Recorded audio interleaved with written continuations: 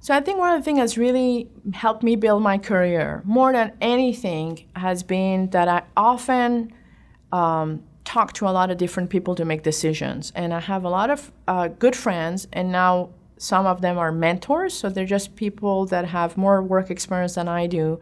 And I meet with them and I get advice from them. And recently I started mentoring um, some college girls and being able to do the same thing for them. It's called Paying It Forward. And the, the, the idea is that you think you're hitting a, a hard problem or you're not sure what to do. You might be thinking about two jobs or two careers.